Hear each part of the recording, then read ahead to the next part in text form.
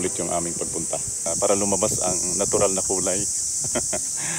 At tila ako'y pulang-pula na. Landmark dito sa loob na Andersen. Pakis nga.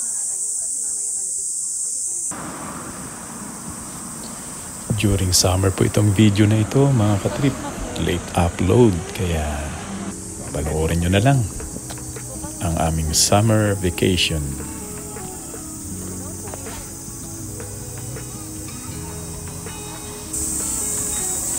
Hello mga katrip, magandang hapon, magandang hapon, magandang hapon. Nandito kami. Kasama ko ang aking family sa Andersen Park sa lugar ng Chiba. First time namin dito para sa mga bata bakasyon. Kaya kami po ay pumunta upang maipasyan namin ang aming mga anak. Kaya let's enjoy the scenery of the surroundings. Ang park na ito ay hindi kalayuan from Tokyo proper. It takes more than an hour by train and by bus.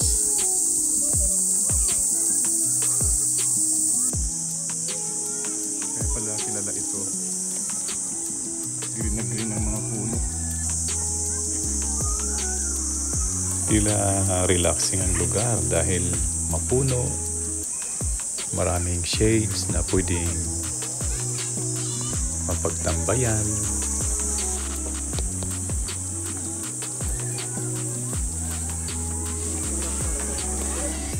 Nagbaon din kami ng sa sariling tent para may magamit kami panlatag.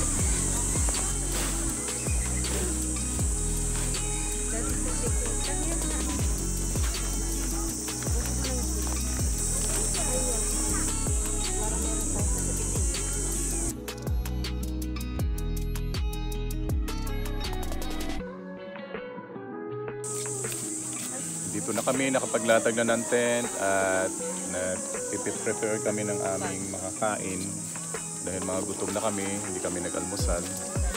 Yan ang baon namin.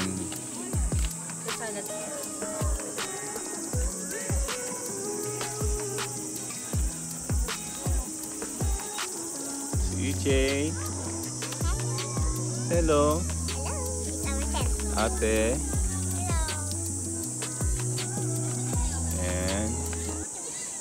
my sweetheart.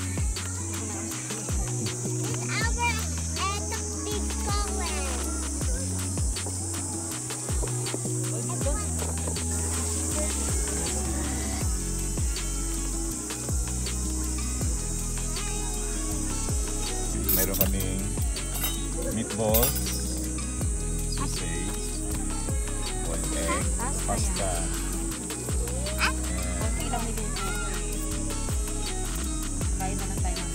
Salad. fried. Let's eat na! My swe- sweating wife.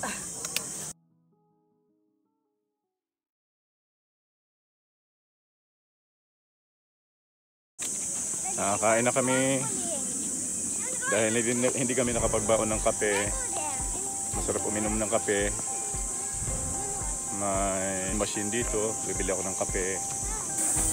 Coffee. What do you like? Kapi-kapi muna kayo dyan. Kapi-kapi. Kapi-kapi.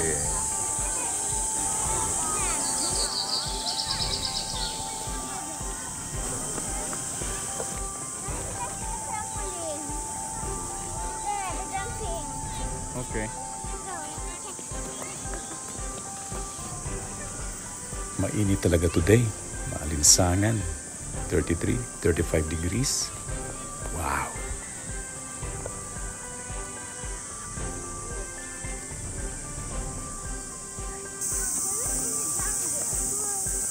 You're in the jungle? Masarap din sa pakiramdam na nakikita mo yung mga bata nag enjoy sila sa ganitong lugar. Masaya na rin sa kalooban.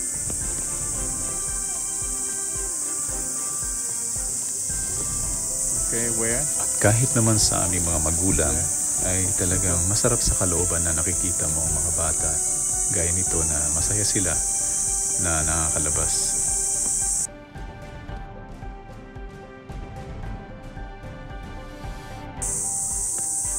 Okay, we're going to buy what? Ice cream. At dahil sa mainit ang panahon, nagre-request ng mga bata na makabili ng ice cream.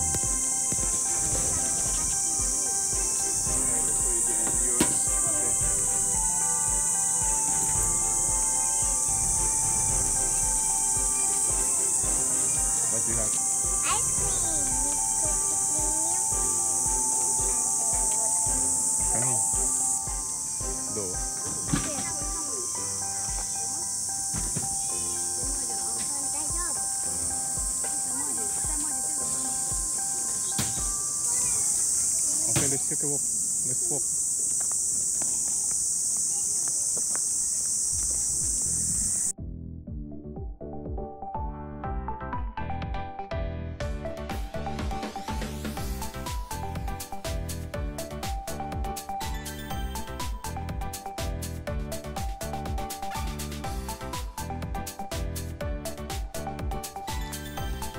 I am kindly recommending this place, lalo na pag summer. Maluwang kasi ang lugar para sa mga bata, makakapaglaro sila. At ah, maliban sa summer, ah, maganda rin dito pag ah, yung during springtime at yung autumn, ah, hindi siya ganun kalamig. Kaya masarap puntahan ang lugar nito.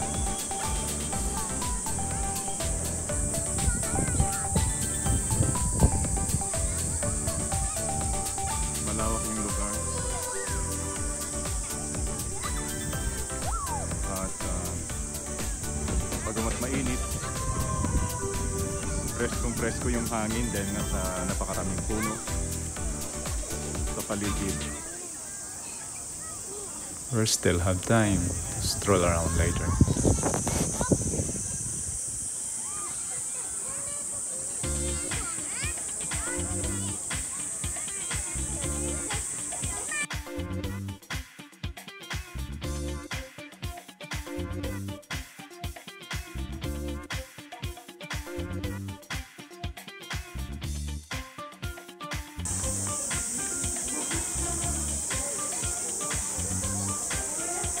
Halos pami-pamilya ang mga nandirito.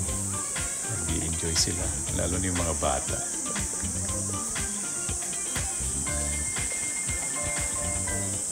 At gaya rin ng mga bata, parang mga nakalabas sa kural, nag-enjoy.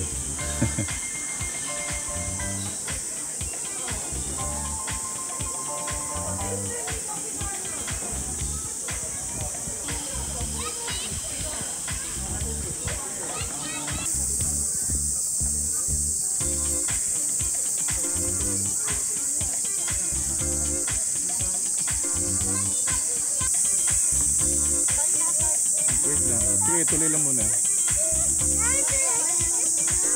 Ganito kalawak ang ano, Anderson Park. At uh, pwede magsagwan doon sa baba. On the way kami doon sa kabilang landmark na maganda rin ang paligid, may mga flowers. Isa sa landmark dito sa Anderson Park. Pwede pa, mga Pupuntahan 10 namin. minutes, 15 minutes, pwede na yan. I-enjoy yung mga bata.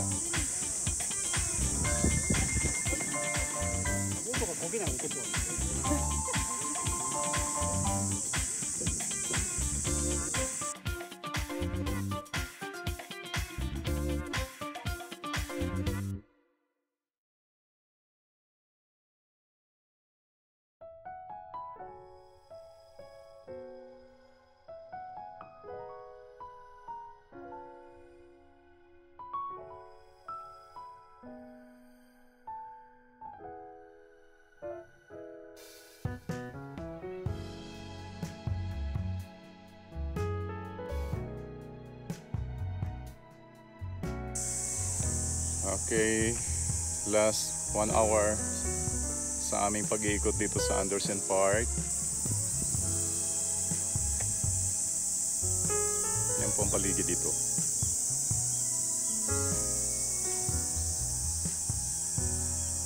Green na green. Pag nature lover ka, mag-i-enjoy ka talaga sa lugar. Dahil sa init.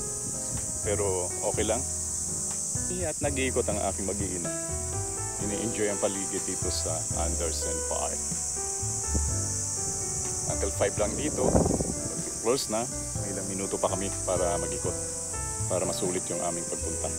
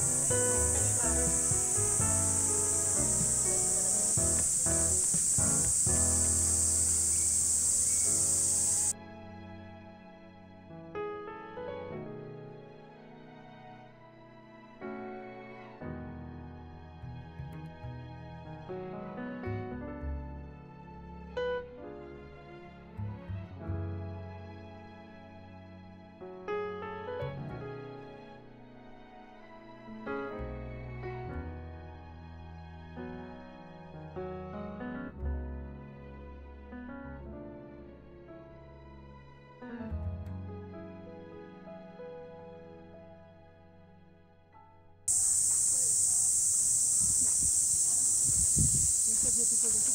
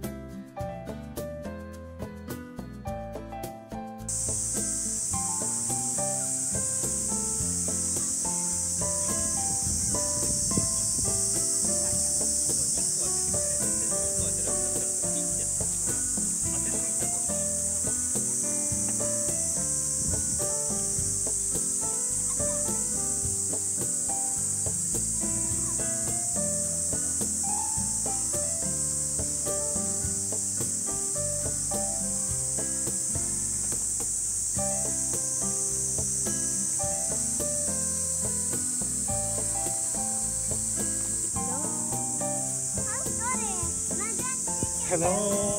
Nandito kami sa Anderson Park. Ah, ilang minutes na lang. Pauwi na kami. Pangilan palit ko ng dati, pangatlo. Mainit na. Sobrang init. At lumabas ang natural na kulay. Masarap ang pakiramdam dahil parang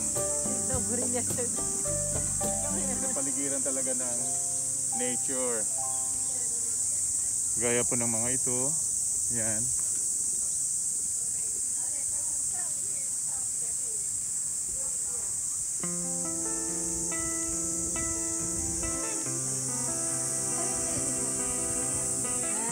What's that? It looks like palaka.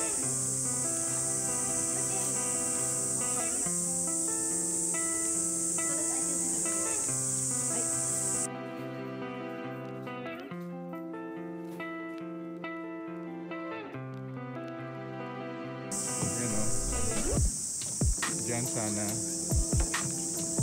Boating.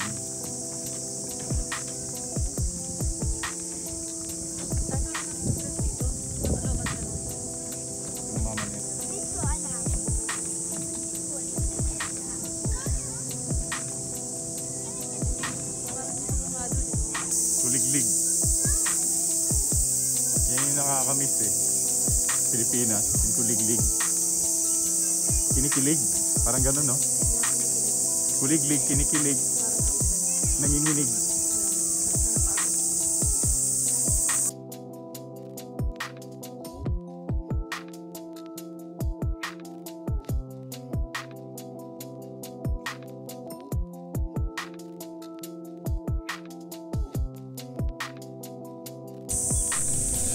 Hey!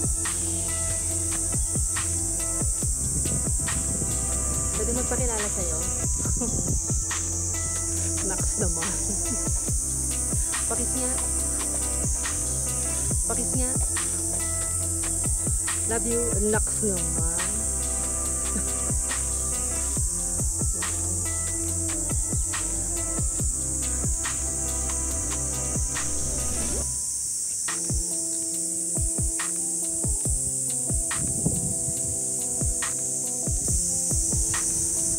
Thanks for watching po mga katrip.